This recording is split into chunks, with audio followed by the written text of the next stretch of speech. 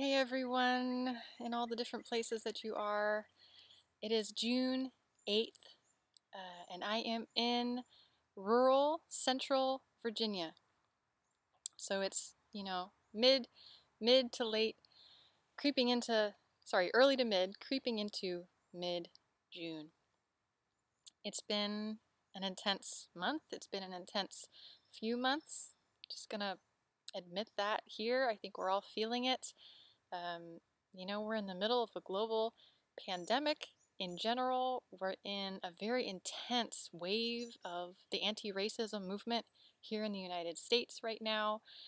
The temperatures are getting into the 90s. Uh, summer is pretty much here. So tensions can be high. I'll admit, this has been a time when I have um, been emotionally challenged, been going into freeze, overwhelm. Um, uh, I feel like in our time right now, um, there's fear, there's panic. Um, it can be a testing, a testing time. So, it's just, I'm inviting myself and all of us to take a breath from that right now um, and tell you about where I am. So, I'm in the middle of a large uh, meadow, kind of an old field, an old farm field of a small farmhouse, gone fallow, uh, so turning into a meadow. Um, it is bright and sunny and hot today. I'm in a field of white clover, as you can see, underneath a grove, a rich, thick grove of American persimmon trees. Um, and looking out here, um, the plants being in summer mode right now. Most of the plants here being uh, shoulder high. Um, all the wild greens and herbs. Um, I'm going to focus on one today, and that's lamb's quarters. Um, but as I look out over this, uh, just eyeballing it, maybe it's an acre that I'm looking at right now of open, sunny, fallow field. Um, so much of it right now is this one plant, lamb's quarters. So let's just take a look at what that looks like. So as you can see, you know, here's part of this once garden, once field area. It's very thick with growth this time of year. Um, there's my house. As you can see, in much of this area, white clover is a ground cover coming up on its own. Thick, I mean almost knee-high white clover. Yellow dock is very, very abundant here. You can see how tall, you can see that it's starting to rise, how tall it's getting now that summertime is here. And honestly, throughout here, we could probably pick out 50 amazing, edible, medicinal, ancestral plant foods and medicines that are all coming up of their own accord with no cultivation. Um, this is actually an amazing little spot of cilantro coming up on its own. Um, but I really want to focus on this area here. You can see all these white daisies in the background blooming, wild daisies. And here, um, though this plant is all throughout the property, there's an especially thick meadow of this amazing plant, lamb's quarters here. Let's take a close look. It is very bright out here. So here we go. Here's a sweet little lamb's quarters.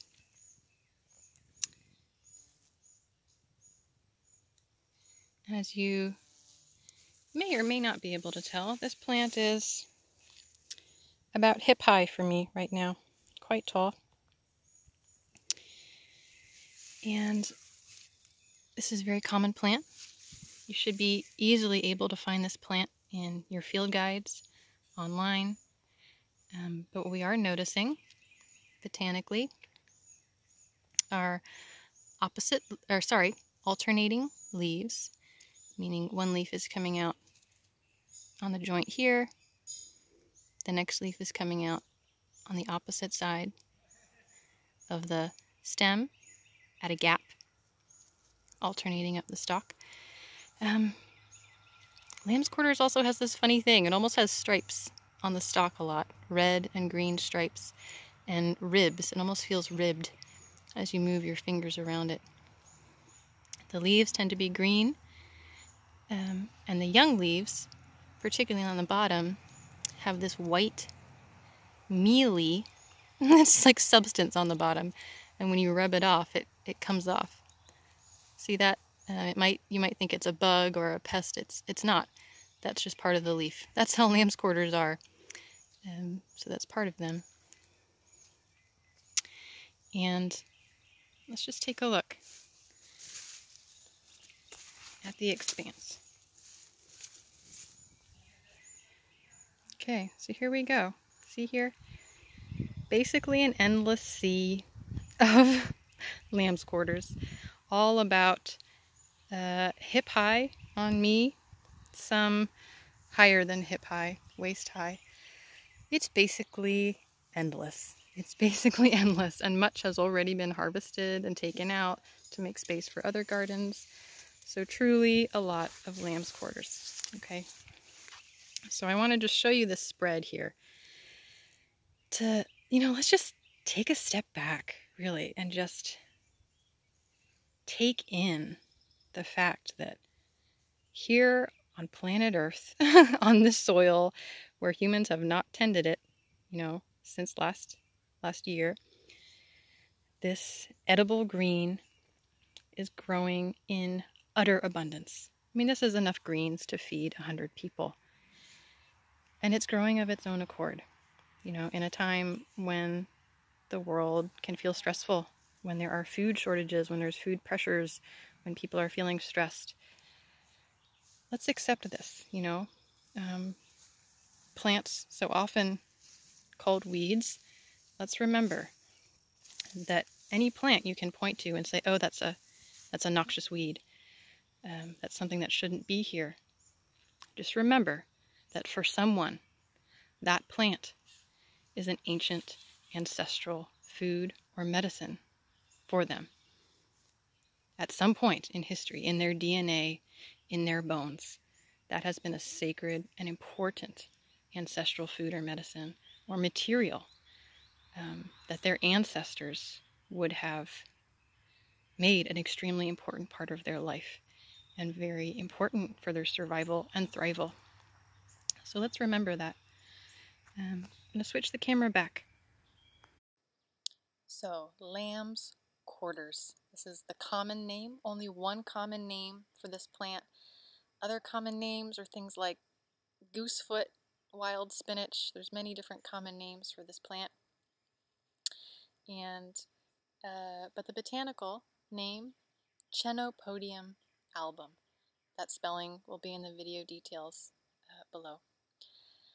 Chenopodiums, okay, the genus of this plant, Chenopodiums, are amaranths. They're in the amaranth family, the amaranth, Amaranthaceae. Um, and here's what's interesting. Chenopodiums of different species and many different subspecies. Um, it's unique that I can say this about a chenopodium, about a plant, um, is that for most people, um, uh, wherever your ancestry comes from, wherever your ancestors come from, for most people, a chenopodium will have been an ancestral food for your your DNA, your ancestors, um, because this is such a widespread plant.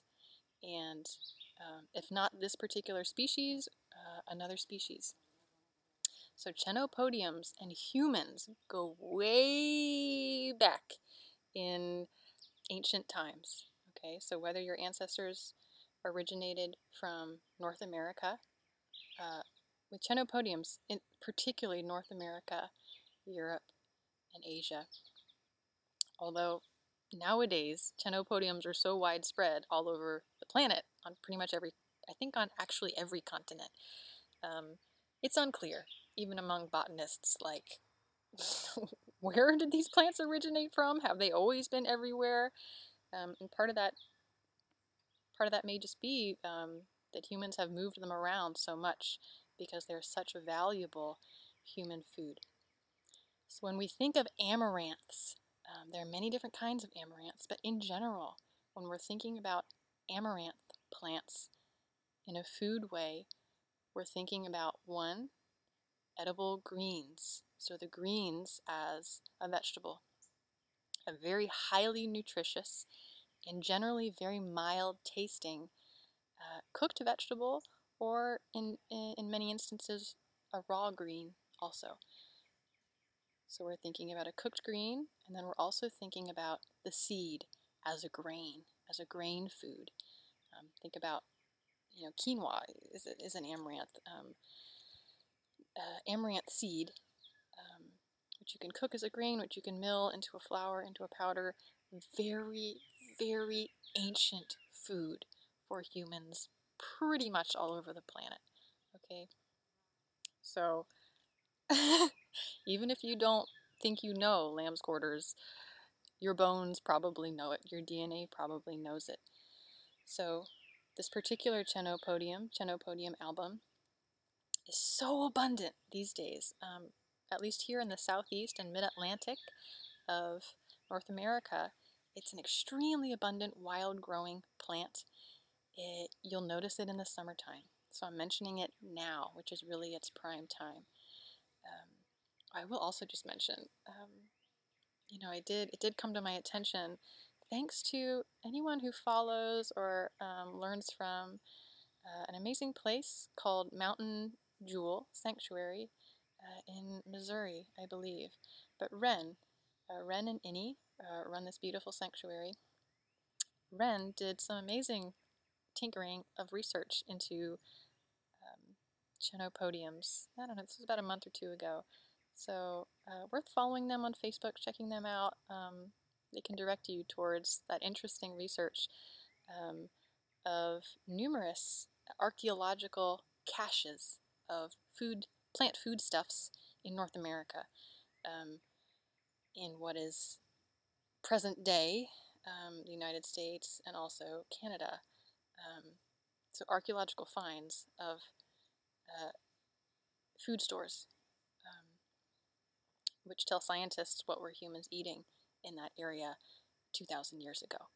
And one of the plants found in those caches is chenopodiums. Okay, so just I'm just giving you a context. Ancient, ancient human food. What's even more interesting is that it's likely that those chenopodiums were cultivated, um, had become cultivated strains of a wild chenopodium, meaning that people planted it on purpose, cultivated it for certain uh, qualities um, because they valued it so much, very likely. So, incredible. I'm inviting you to value this plant just as much as you would value spinach or lettuce. Uh, actually, more so. it's a plant that's more nutritious, more hardy, and more abundant. So, um, this plant is, I consider it um, one of my main greens, dominant edible greens of the summertime. Okay, in the spring, I really mentioned chickweed, uh, Stellaria media, because it is, I consider it the dominant, mild tasting edible green of spring here in the southeast and mid Atlantic. Okay, in summer, the mild tasting wild green uh, I consider to be lamb's quarters. Okay, so you won't even see it coming up uh, until the weather gets quite warm. You know, chickweed will have already died back and lamb's quarters will be coming up. And at first it will be quite small, but it will the leaves will look the same. Depending on where it's growing, you know, it can get knee high, it can get waist high, it can get shoulder high. Um, but it's often my main summertime green, whether I'm, you know, just harvesting it wild or whether I am encouraging it in my garden, which I almost always am, in the same way I would encourage chickweed. Okay, um, so right now, uh, lamb's quarters is leafy. Okay, this is all leafy growth. It hasn't started to flower yet. Uh, the flowering, I guess that's a spike. Spike will have an amaranthy look, kind of this little spire, this little little tower on top. Um, and then it will form seeds um, and that will be a second crop food source. So later in the summer, autumn, this plant will stop being a green vegetable and will then be a grain. Okay, so right now is the time to appreciate lamb's quarters as a green vegetable and to just really go for it.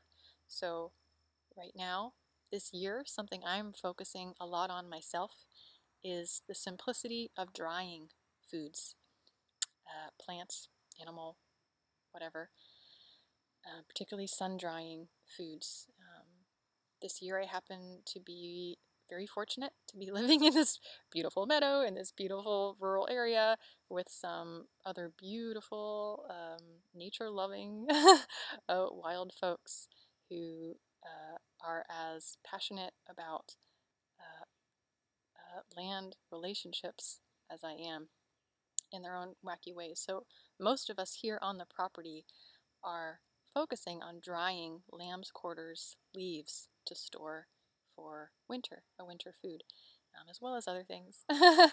um, sun drying a bunch of mulberries right now as an experiment. And I'll show a little bit of that more later, but I just I invite you to feel free and open to, if you have an abundance, this is a great plant to store um, for this coming winter. And in any other ways too, you know, you could freeze it, things like that, but the simplicity of drying works uh, wonderfully with this food. So uh, I'm going to show you how I harvest this plant and how to kind of tend it as a semi-cultivated. Here we go. So here we are back in the meadow. Over there on the deck there's some folks likely working on stringing up lamb's quarters to dry in the sun. That deck has been a great spot to be sun drying foods. So I'm going to use my own shadow to be able to uh, show you in better focus what I'm going to talk about. So here's a beautiful lamb's quarters here, already quite tall. Like I said, most of these are uh, hip high on me right now.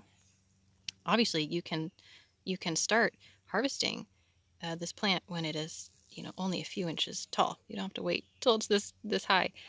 So here's what I do with lamb's quarters the same as I do with pretty much any other plant. I'm a big, I'm a big fan of meristem. Uh, and if you're not sure what that is, you can watch my earlier video in the spring called Lessons in Meristem and Heartbreak. In short, meristem is the young, tender growth of any plant, which tends to be the edible vegetable. Like an asparagus, think of an asparagus shoot in the spring. Bright green, it snaps easily. It's tender to chew, it's digestible and assimilatable. So that's how we eat most plants as humans. So with lamb's quarters, even though this plant is at least three feet tall, I tend to personally prefer just to nip the top, top few inches. Okay, so that's the whole the whole stem. I'm not picking off individual leaves here. You see the whole stem with the bundle of upper leaves attached to it. So that's typically what I'm going for putting it in my basket. Um, and the wonderful thing about lamb's quarters is that I encourage you to treat it like a tea bush. Treat it like a tea plant and that you're constantly nipping the new growth. And you can essentially encourage it to become a bush. This is an annual plant. Uh, make no mistake, this isn't going to be around for years. It will come back every year from seed. But this plant being so tall, so even if I snapped it way down here, that would be a great thing to do because this plant is going to shoot out new tender growth now from multiple nodes, from multiple joints, and it will start to become more bush-like. And then in a week I can come back and nip the tender little tips from other branches as they grow.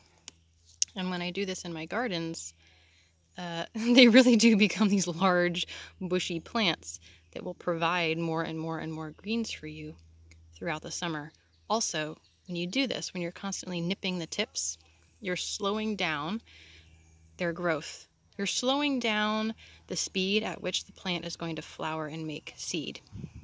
What I mean by that is, you know, if I nip these plants and keep nipping them, uh, nipping all the branches as they uh, return, these particular plants will flower a bit later than if I had not nipped them. That means I have a longer harvest season of the greens before the plants bloom and go to seed. So that's a really great thing to do. So even though these plants are so tall, you know, I might even like break it way down here just to now encourage this to become bushy. And then on this particular stalk, um, you know, some folks like to just eat all of the leaves from a stalk. All the leaves do tend to actually be tender. Um, what a lot of folks here are doing is actually harvesting whole stalks like this, stringing them up on strings, you know, hundreds of them, and sun drying them, and then stripping the dried leaves from the stalks to store the dried leaves uh, for food. Um, I personally tend to just like the tips, and then I'm drying lots and lots of the tips.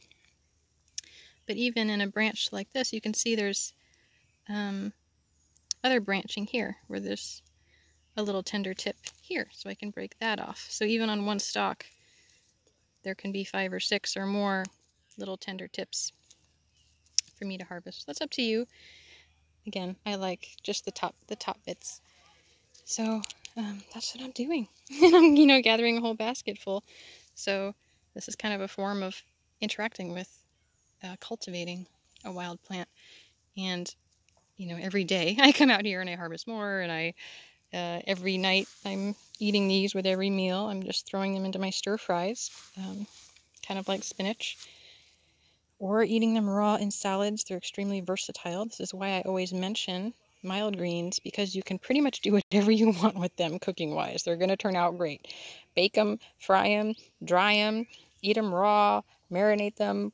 Seriously, anything you can think to do with spinach. Put them in a quiche. My God, really, anything. The sky is the limit. And they have a nice meaty texture when they cook. They don't get slimy or or shrink down too much like spinach. They really hold hold a nice texture. Um, and then in salads, they're a nice base, and then you can add other spicy, spicy wild greens and bitters and berries and fruits and you know everything else to it as well. Um, so that's that. You know, I'm harvesting a lot to to cook some tonight, and then the remainder I'm going to set out to dry. Um, and yeah, let's take a little look at that. So here's just a small patch of lamb's quarters that I've already tended to a little bit, maybe yesterday or the day before. You can see how low I've nipped these. You know, I really broke the stalk low. And you can see that already um, these plants are starting to branch again quite a lot. So these are going to start to become bushy and more branching and create many, many more tender tips. Okay. So here's just a very non-fancy glimpse of some of the lamb's quarters that I've been drying uh, in my wall tent right now. Just to show you, like, you don't have to be precious about this. My God, I just lay out greens wherever you've got. Um, ideally any space where they're not going to get dew on them in the morning. If it's indoors, like laying them out on a nice large sheet. If you have screens you can lay them out on, that's great, but you don't really have to be precious about it. You know, often I have like baskets full of them. Um, just kind of all over the place. So you can see these have been drying for a couple days. Um, and I just kind of pile them into baskets um, and just kind of swish them around every day to make sure they've got air. So you can see these are starting to dry. All these little tips, not dry yet. And these other ones that tend to get a little bit of sun, drying a little bit faster. But they're not there yet. One thing with lamb's quarters is that the leaves, even if you dry them in the shade, uh, the leaves do tend to yellow a little bit, and that's just a lamb's quarters thing, so don't worry about that. Um, a lot of folks here are drying the lamb's quarters in the full sun. That's great too. Just, you know, for a day or two. Like once it's dry in the sun, take it inside, put it in jars or bags. Don't leave it out for like a week in the sun after it's already dried, or the sun is going to start to break it down too much. You know, like bleach it, strip away all the goodness and the minerals and the vitamins and then it'll all just turn like crispy brown yellow. But a little bit of yellowing dried, when dried, I find to be very normal with lamb's quarters. Just so don't so don't worry about it. You didn't do anything wrong. Um, you know, you can see that happening here. Just like a teeny bit of yellowing already happening. Um, yeah, that's it. And the great thing, I love doing this with stinging nettles, um, many other many other greens, this is great. Um, to just dry them once they're fully dried and crispy and crunchy.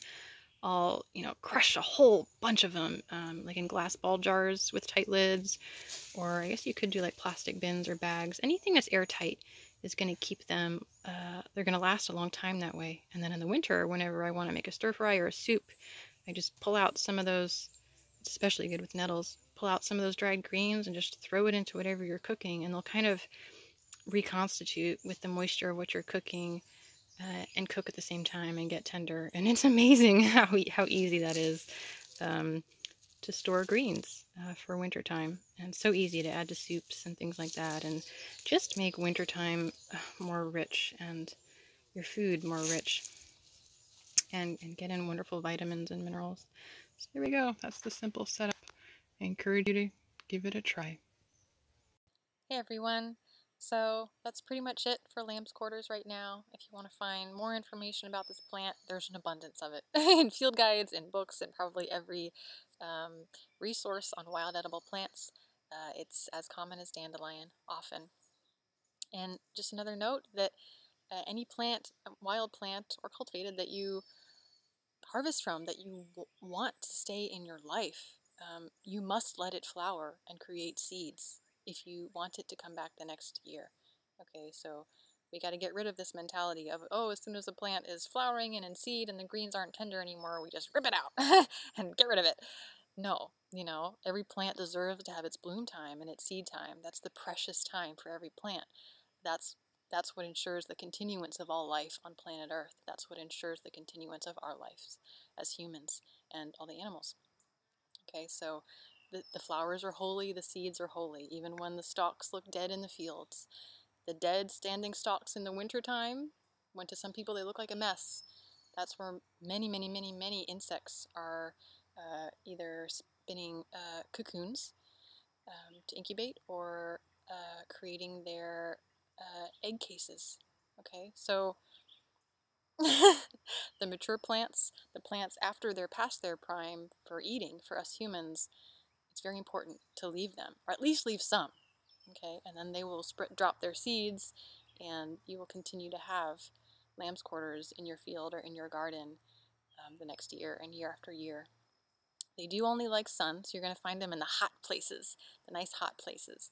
In urban areas, they'll often be like near cement and concrete because um, they love the heat. They really like like the hot weather.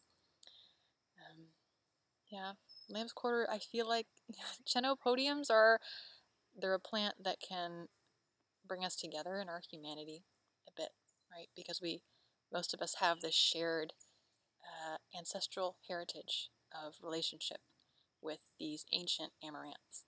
Um, so there's incredible beauty and diversity in uh, many different lineages and traditions and ancestral um, traditions and life ways of the enormous diversity of humans on this earth.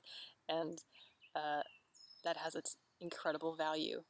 And then also the things that um, bring us together and make us the same in certain ways have great value too. And I consider the ancient amaranths to be one of those things that that brings us together, that unites us, that shows us our sameness. Okay, I'm gonna cry. so there's amaranth. Uh, the sun is setting now. I need to probably go move my mulberries into more sun. Um, I hope this was helpful. Let me know if you have questions in the comments. And hopefully there will be more fun videos and things to come. I'm excited about what this summer here is going to bring. Bye-bye, everybody.